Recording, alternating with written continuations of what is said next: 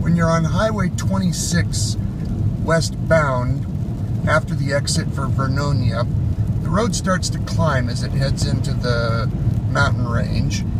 And anything about maybe 500 feet elevation or higher, you're going to see the snow is sticking on the roadway and not really sticking on the trees.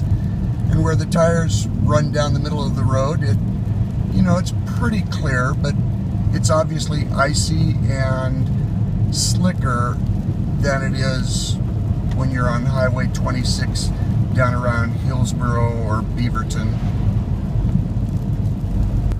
When you get off of Highway 26 and maybe head out the road to a place like Buxton, uh, the snow isn't really sticking more. It's just that there's not as much traffic that's been over it.